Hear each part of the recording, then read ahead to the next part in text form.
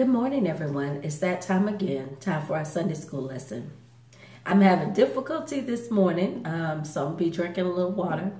Um, the title of our lesson today is The Widow and the Unjust Judge, coming from Luke, the 18th chapter, verses 1 through 8. I had a little song in my spirit. I'm going to sing it, uh, just a little bit of it. just a little bit of it. Um, and then we're going to pray. Overflow in this place. Have your way. in this place, we want more. In this place, have your way. Cause we can't talk without you. We can't walk without you. We can't live without you. Have your way. Cause we can't walk without you. We can't talk without you. We're nothing without you. Have your way. And if it's not pleasing to you, take it out of me. If it's not pleasing to you, Take it out of me. And if it's not pleasing to you, take it out of me. Have your way. and if it's not pleasing to you, take it out of me. If it's not pleasing to you, take it out of me. If it's not pleasing to you, take it out of me. Have your way. Overflow in this place. Have your way in this place. We want more place.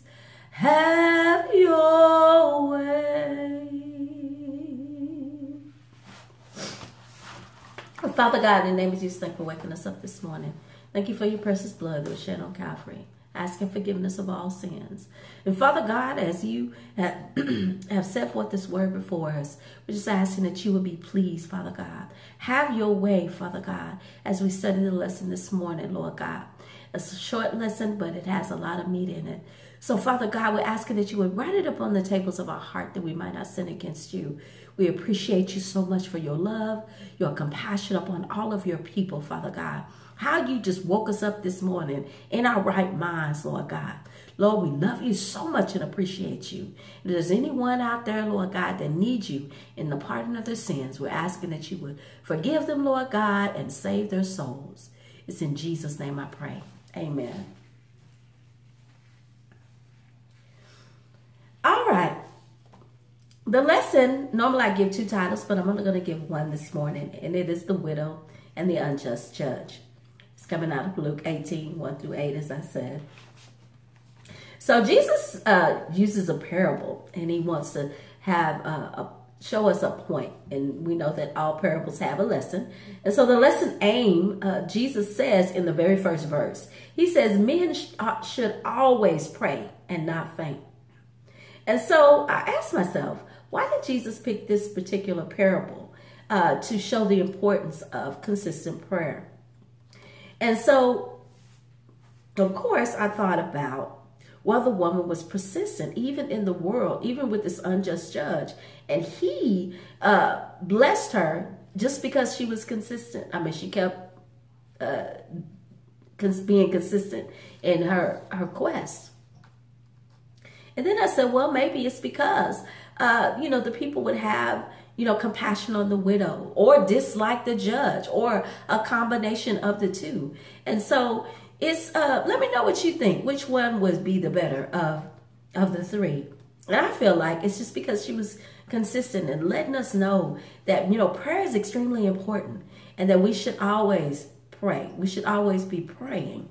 Um, there's so much injustice in the world, so many things that are going on around us, and we need to be in prayer. Shootings in the schools, um, and then uh, even just people shooting people randomly. Uh, it is extremely important that the saints be praying about these things. Uh, where is the prayer? Where are the prayer warriors? You know, people that lay before God to, to pray. Uh, we remember the story of Jeremiah. Jeremiah laid on his side for years uh, to show the point of how long the children of Israel will be in bondage. So let me move on. I can get caught up in all kind of stuff because uh, the word is so vast and so rich. Um, so the other thing I just want to say, Jesus, you know, he set the stage. He explained uh, he explains what he was uh, really trying to uh, express within the parable. Then he also sets the stage and gives us uh, the characteristics of the people that were involved in the parable. He says that the uh, judge, there was a, a woman in a city and there was an unjust judge who didn't fear God uh, or show respect for man or regard man is what they call it. And, and that is when you look it up, uh, in the um, Strong, it tells you that that means that he didn't respect them. So the widow says, she says, avenge me, my adversary. So of course, avenge, you know, she's asking him, you know, uh, take care of me, take care of the situation. And she calls whoever it is an adversary, which means there's a problem there. That is her enemy, someone that is going up against her. And she's asking him, you know, show me some justice in this area avenge my adversary. And so it talks about that the unjudged, uh, un, unjust judge, he says he waited for a while before he even did anything. And let me see, let me tell you what he says here. He says that even though he doesn't fear God, he specifies, even though he doesn't fear God or regard men or show respect for men, this widow's going to trouble me if I don't do something. And so even in her consistency, uh, he was he was bothered by uh, her that she needed to be avenged, and he was not a believer. He didn't believe in Christ. So she had, I can just imagine, and this is just me and my Holy Ghost mind. I can imagine him, you know, going through to the market and this woman was there and she would ask him to avenge and, and, you know, in other words, she met him at the grocery store and she was telling him, hey, I need you to avenge. I need you to do this, that, and the, uh, the other. Uh, he was maybe at the movies and, and she would be there and he would, um, and I'm just paraphrasing, trying to give us a, a modern day, you know, uh, at the grocery store, uh, getting gas or, or something. And she would continue to uh, tell him, I need you to avenge me in this matter. I need you to do something, you know, uh, show me some justice in this area. And so, um, and then uh, it it shifts. Okay, first he he does it. He says that he's gonna do it because this woman gonna keep bothering me. So I got to do something to alleviate my own suffering and stress. And so he, he was an unjust man. He didn't believe in God. And so sometimes you have to you think about that and you know how sometimes our children our children will come and ask us and then we'll tell them no and they go away then they'll come i'm telling you this has happened to me with my kids uh, they'll come back and ask you again and you'll say no and then they'll go away but they keep being so persistent now and i'm not talking about anything that would hurt them or harm them you know maybe go over to their friend's house or or something in that nature, go outside and play or something like that. But sometimes if they continue to be persistent, I'll say, go ahead, boy, go ahead, girl, or whatever it is. And then because they kept coming, they kept coming. Now, some would say that I'm kind of wishy-washy anyway, uh, but I'm just saying that them being persistent in this situation, in that situation, allowed them to actually receive and get uh, the blessing that they were trying to receive or go outside or, or whatever the case may be. And, and sometimes that, that uh, persistence pays off. And we hear that in the world, that persistence pays off in the world. But how much more? So Jesus goes on. Let me not jump ahead of my own self. So Jesus goes on and he says, he, he brings it home. He tells them, okay, I'm not just talking about the unjust judge and the widow and how persistent she is. I want you to uh, see the real meat of the matter of what I really am talking about. And he says that uh, if you can see that this judge does this for this woman that consistently is bothering him or consistently bringing the matter before him, then how much more will God avenge his elect? So he gets down to the meat of the matter. He tells them that God will take care of the things. Uh, when we cry day and night, he hears those cries. He hears those prayers and he will take care of us. He will take care of us. And then Jesus even said, speedily. So he will take care of us immediately. The things that, the needs that we are crying about. Now, some of those wants and desires that he said he would take care of that too, but maybe not as speedily as the things that we truly, truly need. Why is it so important for, for him to do that? Jesus talks about so that you'll have faith, that your, your faith will continue, your faith will grow in the Lord. And so, so the lesson aim is not only just about prayer and being consistent in prayer, but it's also about our faith. Now we know that prayer, you know, prayers, being consistent and bombarding heaven with our prayers and requests, they need to line up with the word of God. So I'm not saying that, you know, ah, I need a Benz, I need a Benz, I need a Benz until you get a Benz. That's not what I'm talking about. But I'm talking about those heartfelt needs. Or let's say, for instance, you know that there's a homeless man on the on the street corner and you pray, Lord God, bless him. Um, if the Lord leads you to do something else, then do that. But you continue to pray for that person to, to maybe find housing or find shelter uh, that would fit him or suit him.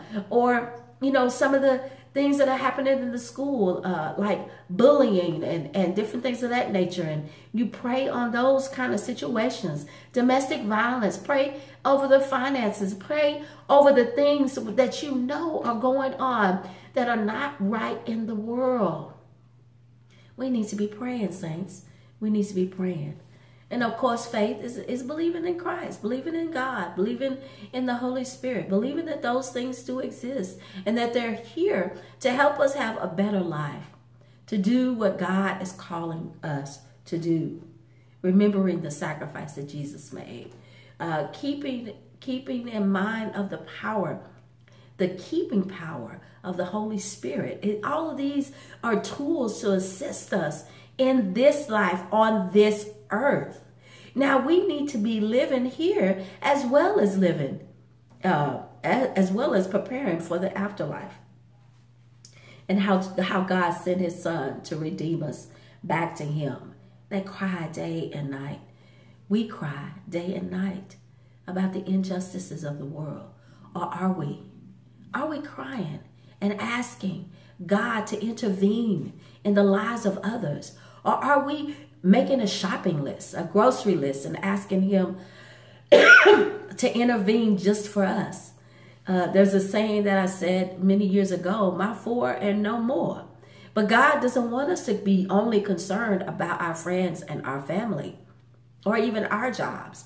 But it is our duty to pray for others, to ask God to intervene in their behalf Many times you see Jesus is moved with compassion on just seeing uh, the state of the people, seeing the hunger, seeing the pain, healing and teaching the word of God. Is that's what we are supposed to be doing.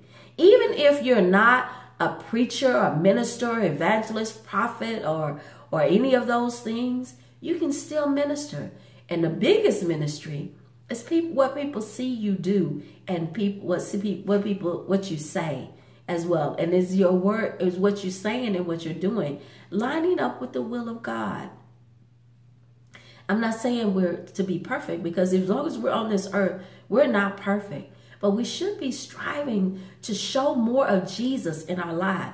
That the people, I don't want people to see me. I want them to see the Jesus in me. Because that's the only thing that's going to save them. If they look at me and they watch me, they may falter. But it's my prayer that they see Jesus in me. That I can point them to Jesus. There's a uh, um, scripture in the Bible, it says that if he be lifted up, that he would draw all men unto him. Are we lifting him up? Are we praying? Are we asking God to intercede for our fellow man that is in a situation or state that's even worse than our own?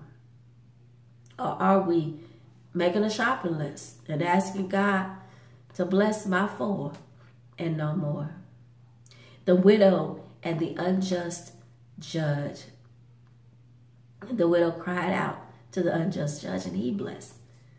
How much more can we cry out to our Father in heaven, and he will do what, what is according to his will for our lives? So, to, this week, I just want you to think about some of the things, the injustices that are going on. And I want you to take just a moment or two throughout the week, more than once through this week, let's say two or three times this week, I want you to pray for somebody other than yourself and your family. And I want you to pray about these injustices that are going on in our lives. I'm going to name just a few the bullying, imbalance of power, job discrimination, false accusations, vow breaking, domestic violence, illegal activity, abuse of the elderly,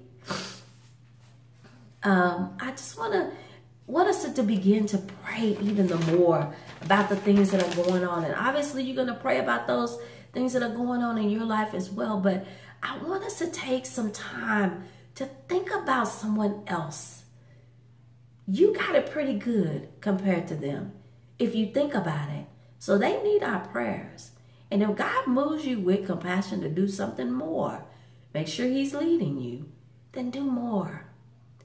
So, the, un, the widow and the unjust judge, Luke 18, 1 through 8. And you guys have a blessed week.